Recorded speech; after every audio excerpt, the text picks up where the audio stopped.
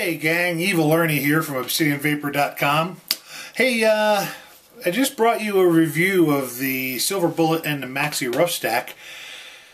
And then today I was kind of hanging out, just finished lunch, sitting on the couch, watched a little bit of TV, and the doorbell rang. And lo and behold, it was our friendly neighborhood mailman who brought me a shipment of sample stuff that I had ordered um, weeks ago.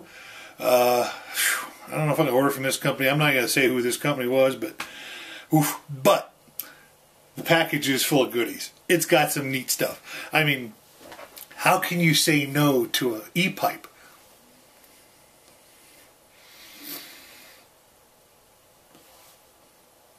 It's got a good hit to it. It's not bad. I got two e-pipes. This one, I mean, they both look identical. Um, this one is a self-contained battery. Let me make sure I get the right box here. Bear with me. Here, look at the pipe. See? Nice pipe. Yes, pipe. Yes, it's a pipe. Okay, here we go. this one um, has an internal battery. It's a sealed battery unit. And you just unscrew the top and it's got a little mini USB connection to it. So you would just take your USB connector. I happen to have one hanging, you know, I got a, a USB hub with about a hundred of these hanging off of it. And you just kind of plug it in there and it starts to charge. Um, so that's kind of cool. But then they sent me another one. I ordered two pipes and they sent me one of each version they have. This is the one with self-contained battery. This one has a, looks identical, it's pretty much the same thing, it's just how the battery works. This one is I think the more traditional one where you actually take your battery and you put it in there maybe sort of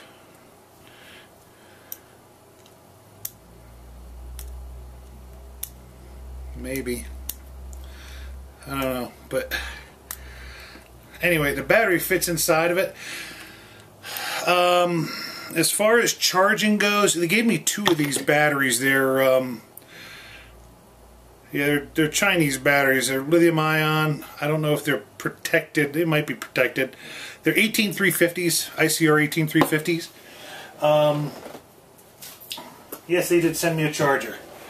There's a happy little charger.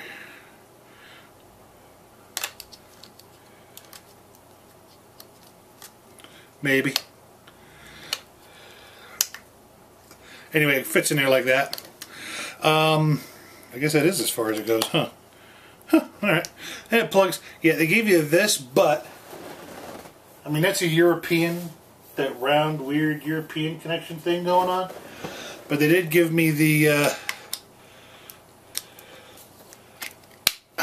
the American adapter for it. So that's cool.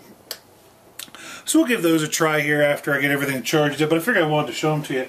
The one with the internal battery though is is alright or good to go. Mm. Okay. Enough of the pipes. Let me put this stuff together here in a minute. Another cool thing I got, and I forgot that I ordered this, is a pre-made box mod, the Revolution V2. This thing's pretty slick. Um, you can run this a, a, couple different ways. It's got a nice lanyard on it. The finish on it is that nice rubberized kind of grip coating on it. Um, it looks like an antenna on here, like you pull it up and be a phone or something. But this unscrews. It's got a 510 connector in it. Um,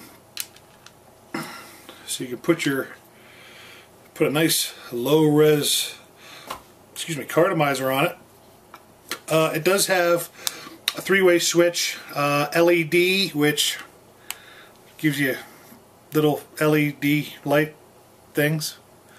Why that's there I have no idea but it's kind of cool if you like lights. Uh, off which is what it's in right now and the bottom which is on. Now there's a little push button here with a little three green LED uh, meter on it.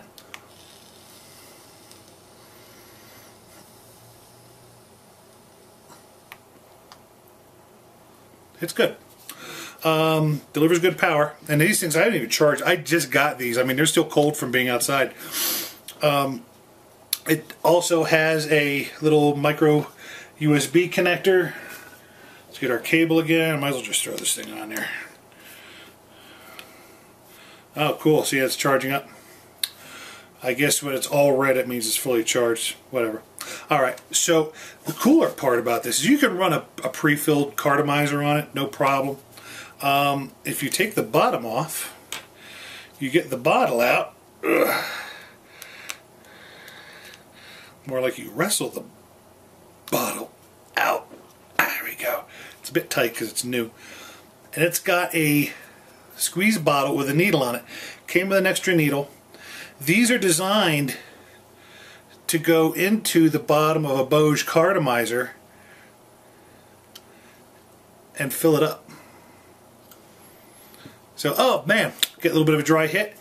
You give your, on the thumb here, you give your bottle a little bit of a squeeze. The needle comes up through the bottom of the connector and it fills up your cartomizer.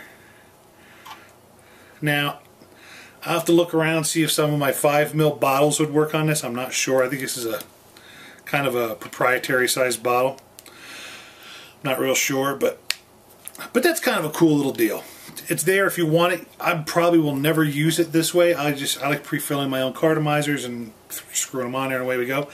Um, another neat thing is if it leaks, it'll go right into the bottle, which is kind of cool.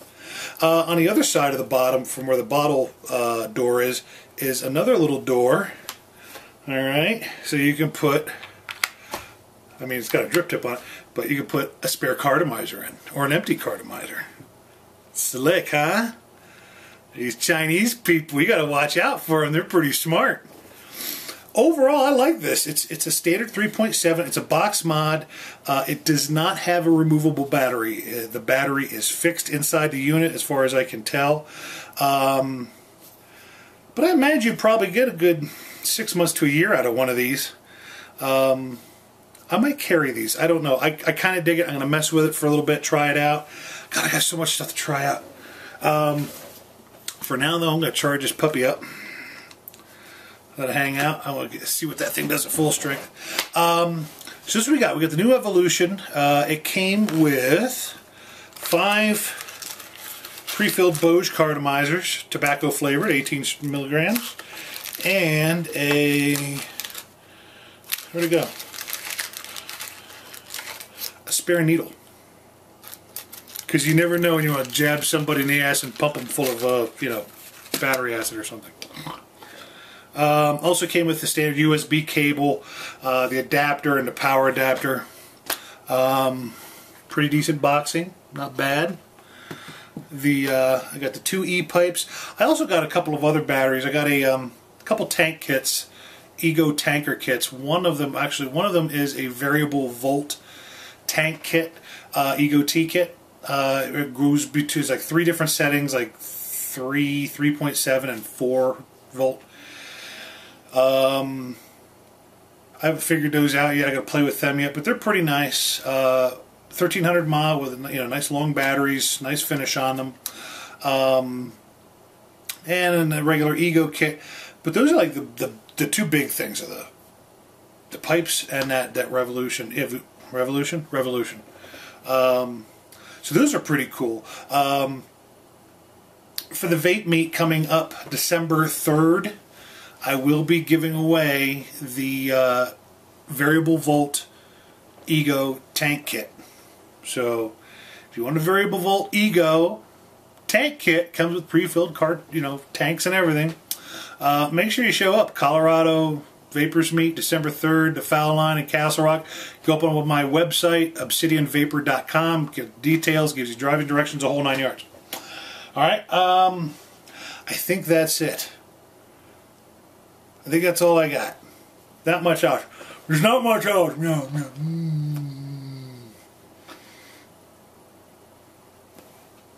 I was kind of hoping to give you a pipe tobacco, but it's just standard tobacco. I mean, I'll live with it. I mean, hell.